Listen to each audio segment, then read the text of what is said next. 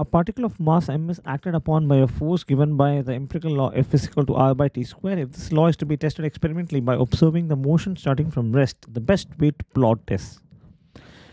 So given F is equal to r by t square, right, into V of t, into V of t.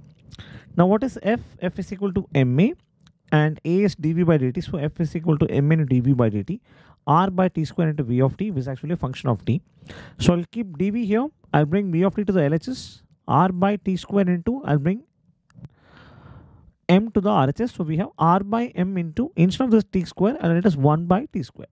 Okay. Now what is integral of let me write it here, here. So what is integral 1 by x dx is equal to it is log x. So we have log vt here. And what is integral 1 by t square? So integral 1 by t square is equal to or to be more precise integral 1 by x square dx is equal to minus 1 by x. So instead of minus 1 by x we have 1 by uh, so instead of 1 by x square we have 1 by t square. So instead of minus 1 by x what we get is minus 1 by t.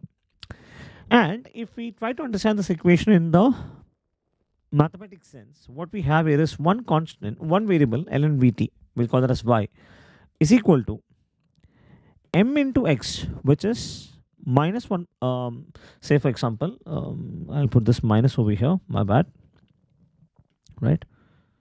Okay so now we have this is y is equal to m into x where x is 1 by t plus c.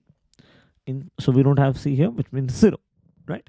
So so if we draw a graph with the y axis represented as ln vt ln vt x axis has 1 by t the slope of this tangent will give sorry slope of this graph will give us minus r by m. And therefore the best way to study this uh, to, to, to plot this is to plot ln vt versus 1 by